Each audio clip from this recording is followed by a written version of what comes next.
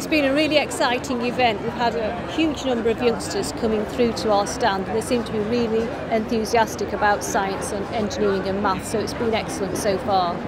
So our brief was to try to enthuse youngsters about biosciences and life sciences in particular. And we've tried to bring the sorts of things that we do in our everyday work at AstraZeneca here into the life sciences lab and use that as a way to demonstrate to youngsters some of the hands-on practical activities and skills that are needed. So we have a variety of routes, including modern apprenticeships, um, routes from university and uh, routes from the PhD level as well.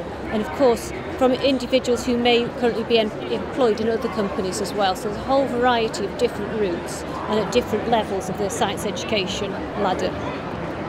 It helps to demonstrate to the youngsters the total breadth that's science, technology, engineering and maths and how you can use all those different types of subjects in science, in engineering, for a whole different variety of careers and roles. And hopefully that's what we've been able to convey.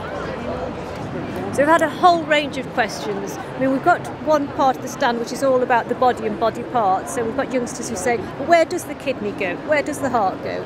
Through to some really um, sort of sophisticated questions about how do drug molecules interact with proteins and, and receptors. So a whole range of really interesting questions from a whole different group of youngsters.